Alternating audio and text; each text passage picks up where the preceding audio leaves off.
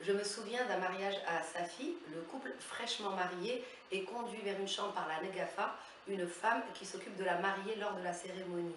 Et alors qu'un groupe attend impatiemment devant cette chambre nuptiale, la mère de la mariée entre dans la chambre et ressort avec un drap taché de sang. Et des youyou célèbrent alors la supposée perte de la virginité de la mariée, son honneur est sauf, euh, de même que la réputation de sa famille. Le test dit de virginité est une violation des droits fondamentaux des femmes, une atteinte à leur intégrité physique, à leur dignité et à leur liberté euh, sexuelle. Euh, réalisée par des médecins ou des membres de la famille, cette, cette pratique dégradante est un acte de torture et une violence sexuelle pouvant entraîner des conséquences physiques et psychotraumatiques.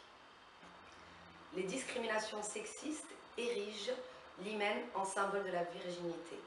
Ce mythe patriarcal de la virginité féminine cantonne les femmes dans la sphère du mariage et de la maternité. Cette violence machiste contre les femmes les réduit à une tache de sang sur un drap. Et pour de nombreuses femmes, cette douloureuse expérience du drap blanc est un test en soi, un viol.